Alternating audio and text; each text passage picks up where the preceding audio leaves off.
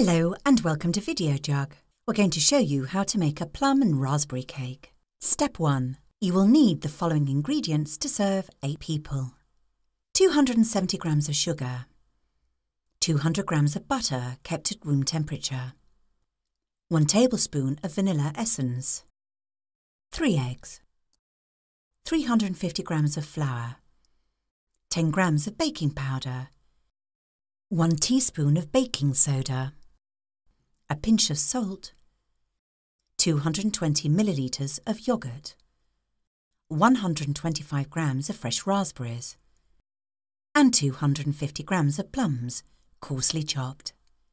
And here is a summary of the ingredients.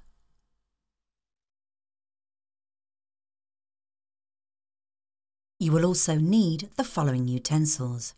An electric mixer with a flat beater attachment, a rubber spatula, a sieve, a bowl, a 30 by 11 centimetre loaf tin, and a wooden skewer. Step 2. Preheat the oven.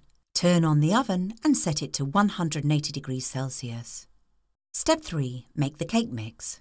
Into the mixer bowl add the butter, the sugar and the vanilla. Start the mixer on a low speed and combine the ingredients. After a minute, increase the speed to medium and mix until the mixture becomes pale, which should take 2 to 3 minutes. Step 4. Add the eggs. Add one egg and wait for it to mix thoroughly with the batter.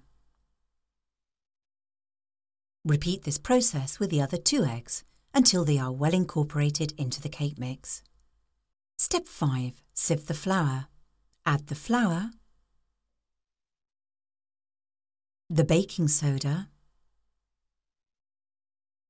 and the baking powder to the sieve.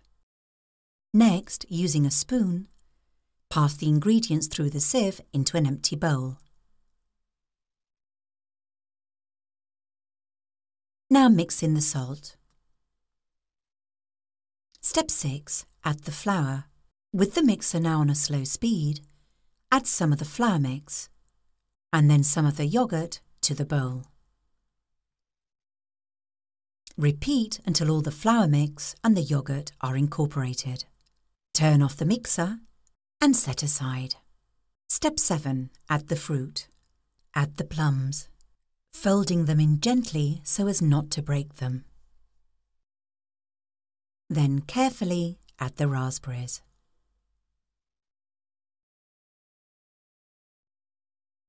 Now place the cake mix into the loaf tin, filling it to about three quarters full. Step 8. Bake the cake. The cake is now ready to go into the oven. Bake for 50 to 55 minutes. After this time, test the cake by putting a wooden skewer into its centre. If the skewer comes out cleanly, the cake has finished baking. Step 9. Cool and serve. After the cake has cooled, remove from the pan. It should slide out with little effort. You can serve it with afternoon tea or coffee, or as a pudding with raspberry glaze. Another Videojug recipe. And that's how to make plum and raspberry cake, the Videojug way.